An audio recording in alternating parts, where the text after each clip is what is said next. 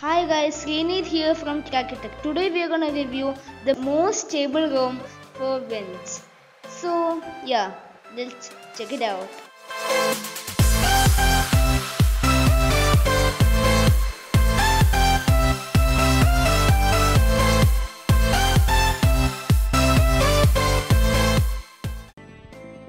Let's jump into the camera app. Uh, the thing we get here is that uh, the camera quality has been increased and we get the HDR option here. And also includes two modes like Pro and Live which was not there before. So guys we also have the new AI mode which was also not there before. So guys now we are clicking a photo and let's check the clarity. So guys, I I personally like the picture quality. Uh, I need to uh, know your thoughts in the comment section right now. So guys, now let me close the camera app. Uh, so as you guys can see, the smoothness of this device has increased so much. It's better. That's why I'm saying old is gold and MIUI is better for this phone. I really love the smoothness of this device.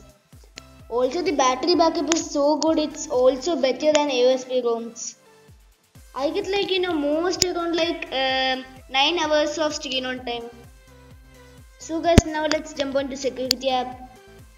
So guys in opening apps it's the best like I have not even found any stutter in this device. It's really the best.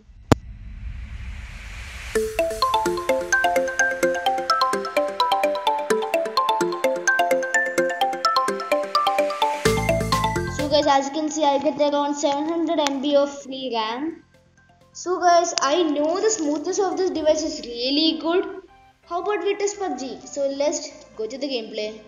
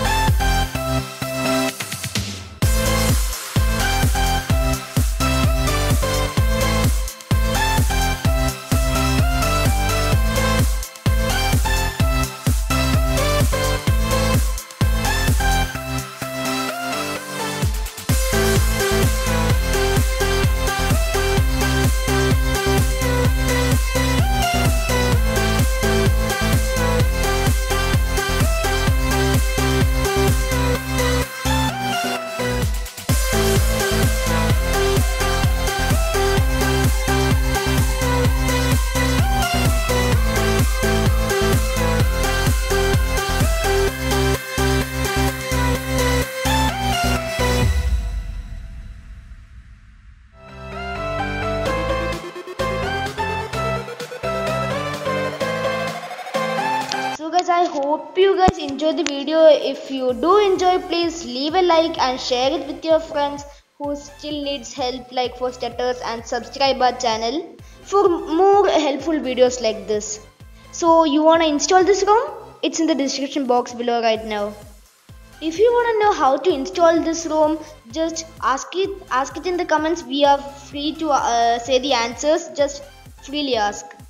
So the links for the ROM is in the description box below and you can use this uh, ROM as your daily driver. Bye guys, I am Srini and you're watching Kracky Tech. Bye and peace out.